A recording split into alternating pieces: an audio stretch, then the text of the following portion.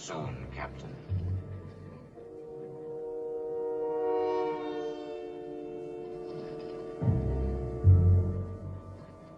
Our world is called Excalbia. Countless who live on that planet are watching.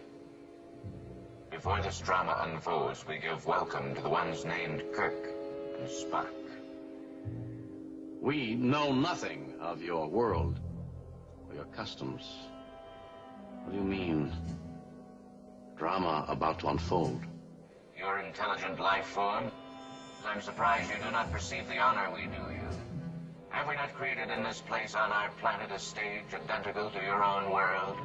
We perceive that we were invited to come down here, and we came in friendship, and you have deprived us of our instruments to examine your world, to defend ourselves, to communicate with our vessel. Your objection is well taken. We shall communicate with your vessel so that your fellow life forms may also enjoy and profit from the play. Behold.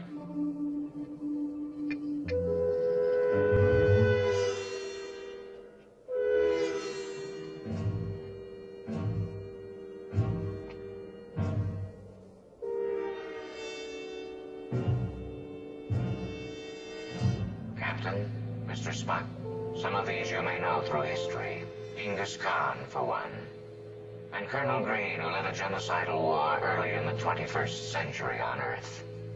Zora, who experimented with the body chemistry of subject tribes on Tiburon. Kahless, the unforgettable.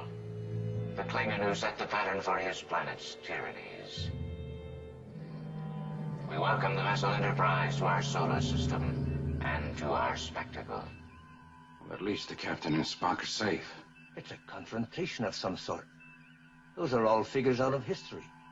Notoriously evil. We ask you to observe with us the confrontation of the two opposing philosophies you term good and evil. Since this is our first experiment with Earthlings, our theme is a simple one. Survival. Life and death. Your philosophies are alien to us. We wish to understand them and discover which is the stronger. We learn by observing such spectacles. What do you mean, survival? The word is explicit. If you and Spock survive, you return to your vessel. If you do not, your existence is ended.